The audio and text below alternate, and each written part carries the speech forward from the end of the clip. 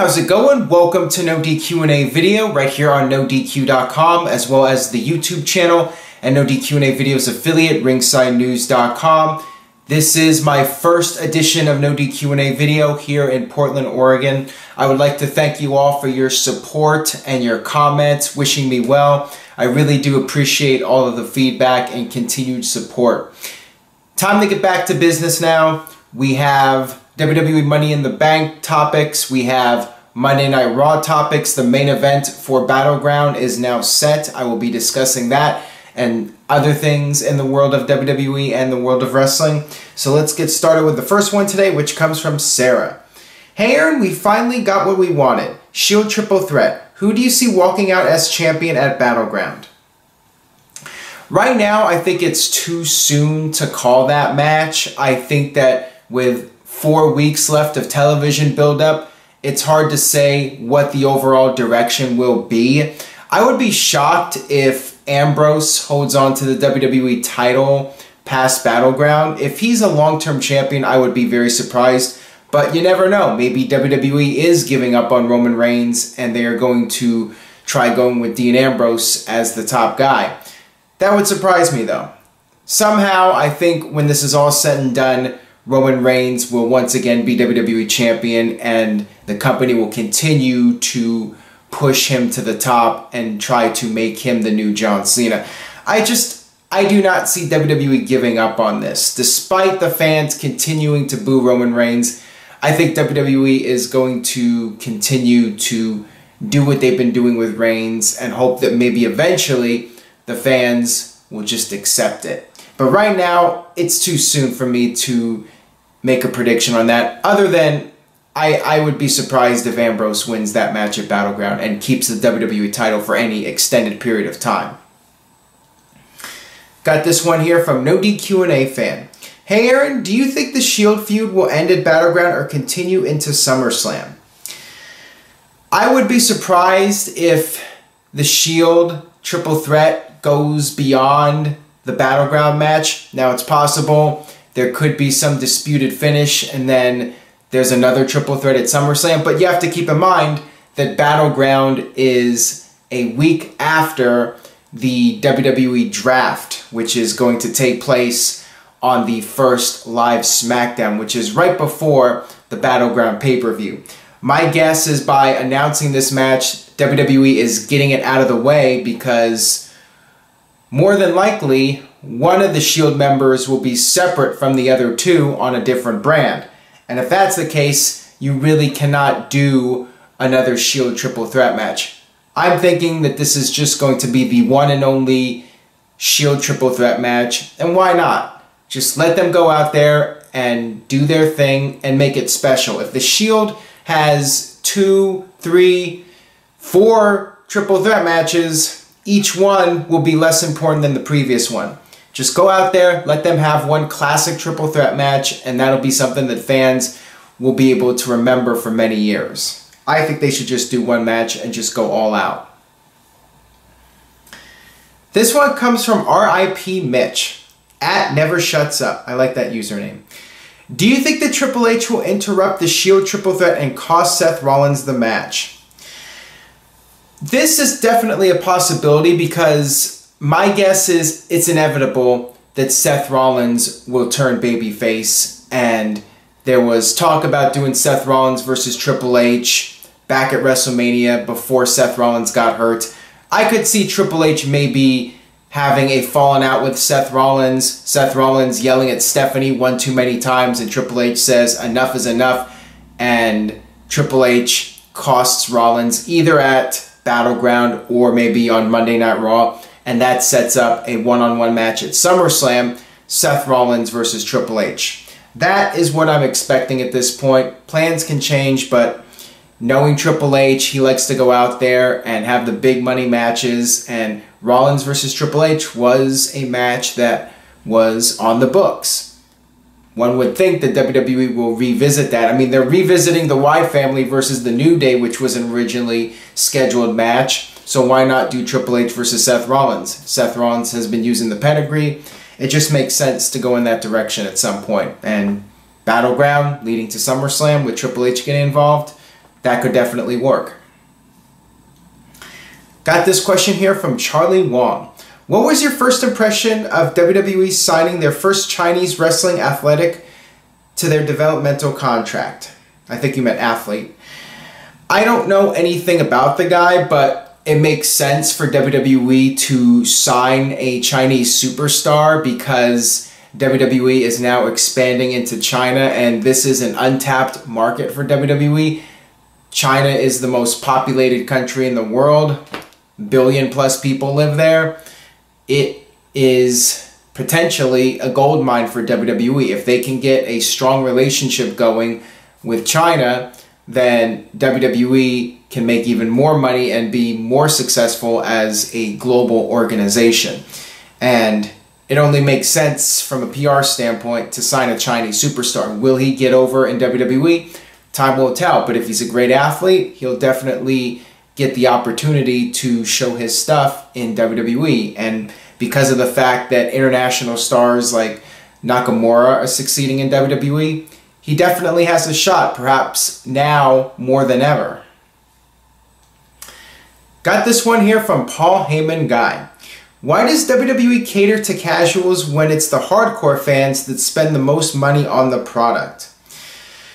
The idea is that WWE wants to create as many young fans as possible. I think that the idea is that you get them hooked when they're young and when they grow up, they have kids, they have fond memories of growing up with wrestling. So when they have kids, they convert their kids into wrestling fans. You always want to draw in the young audience and get them hooked. I think that wrestling is something that kids will tend to get hooked on and then continue to follow it as adults. I'm not sure if there's a lot of people that just start watching wrestling as adults. I'm sure there are, but I think it's most common people get into wrestling when they're kids. I know myself, I started watching wrestling when I was three years old. And I think that's the way it is for many people where as kids, they're fond of these larger than life characters. They grow up and it sticks with them and they pass it on to their children and it's just a repeating cycle. Got this one here from Austin West. Hey Aaron, do you possibly see Randy Orton have one more IC title reign to boost its prestige like Cena did with the US title? I think that's a possibility if Randy Orton is on the same brand as the IC title. I'm not really a big fan of WWE repeating that storyline where they try to have an established legend hold the title to give it prestige again. I just feel Randy Orton would be better off as a special attraction, put him in there against Brock Lesnar, put him in there against other top names for big pay-per-view main event matches, and use him on a more part-time basis rather than have Orton come back and just be in the mix constantly nonstop and putting him in the IC title I think is a waste of Orton. I think you should put him in there with the biggest names possible and do the special attraction matches at major pay-per-views. This one comes from Boston Rules 15. What do you think about a mid-card title for NXT? It would give the guys that are not in the NXT title picture more meaning. To be fair and honest, I'm not really a fan of that because I think WWE is already oversaturated enough with too much television and NXT is only a one hour show every week and it's not really a must see show. I know Jeff will say you have to watch NXT every single week. I'm talking about Jeff Meacham, of course, but in my opinion, NXT is something you want to watch when they have the big takeover events. I really do not follow the weekly NXT shows, so I'm not really a fan of the idea of having another title because if there is another title, then it's just more television and they might feel pressure to do two hours instead of one. And I just think things are fine the way they are now. If it's not broken, why fix it? This one comes from Simon Lee. Hey Aaron, will Velvet Sky end up one day in a WWE ring? I almost was not sure who you were talking about. Um, when you send me the questions, try to use their actual name and not the hashtag or the uh, handle because sometimes I do not recognize the handle of the person that you're referring to. Uh, but yeah, Velvet Sky, WWE, Everyone knows her relationship with Bubba Ray Dudley, and she's no longer with TNA Wrestling. I think there's definitely a chance of it happening. Is it a guarantee? No, but she knows somebody. She knows Bubba Ray. She has an in. She she has a connection. Somebody who can vouch for her. And I'm sure there's other other people in WWE that worked with Velvet in TNA, guys like AJ Styles, that can also vouch for her. So I think that there is at least a decent chance of her ending up in WWE at some point. This one comes from Ryan Curtis. I think it's Curtis, I'm not sure. Or CRTS Kurtz, I'm not sure. Hey Aaron, how would you have booked Zack Ryder's run as IC champion after his WrestleMania win? I could literally say anything and it would have been better than what WWE actually did. Zack Ryder should have at least had a one month reign with the title. The fact that he won it and forced me to shave off my beard and then the next night he loses the title right back to The Miz, that was so dumb and I was frustrated with that. Zack Ryder, he got such a big reaction from the fans.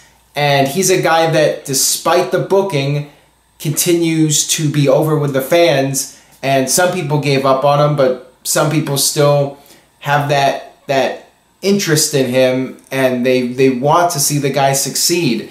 And I really do not understand why Zack Ryder was pushed to win the match and then had to lose to The Miz literally the next night.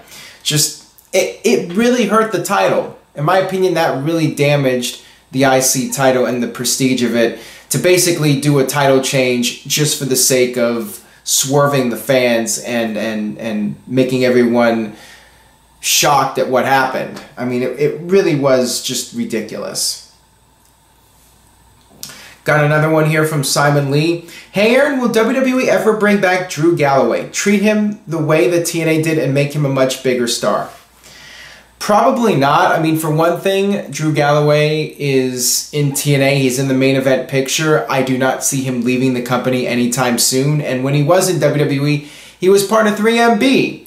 And I think it's unlikely that fans are going to forget that. As much as WWE likes to think that fans forget everything, they really don't. People associate Drew Galloway with a 3MB group. And I think that that will prevent him from ever becoming anything significant in WWE again. Maybe, I mean, there have been guys that left for a while and came back. You look at Luke Gallows, for instance, he's doing well. So I would not rule it out completely, but I think it's unlikely that he comes back to WWE and becomes a major star. I, I think the odds are against it.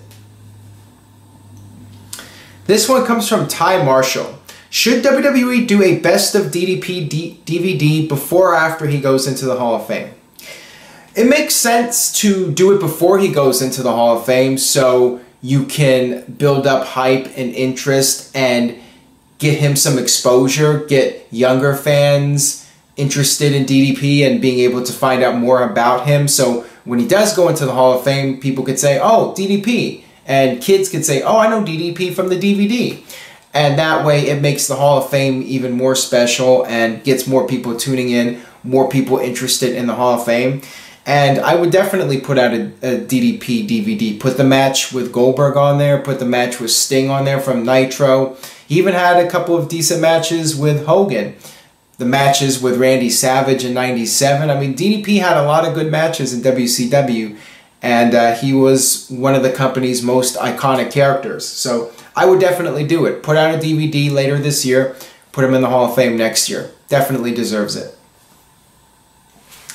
Got this one here from Jeremy Hastings. Hey Aaron, what is your take on WWE's bogus best catchphrases of the decade video WWE posted on their YouTube page?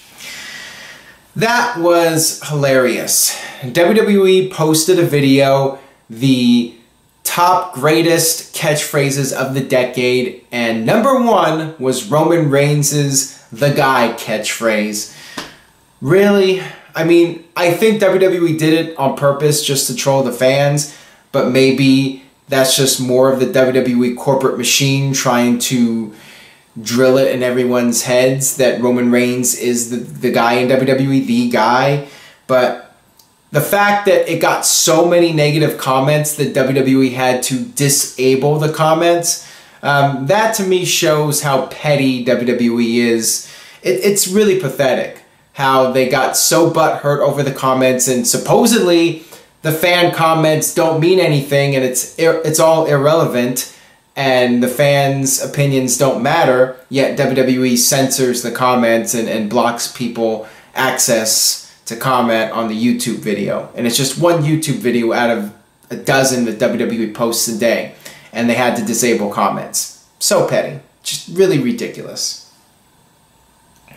That'll wrap it up for this edition of No DQ&A video. Subscribe at youtube.com slash Aaron Rift No DQ. Check out my personal account. I will be posting videos again shortly at youtube.com slash Aaron Rift. And of course, stay tuned to NoDQ.com for the very latest news and rumors regarding Battleground. And I will see you guys next time.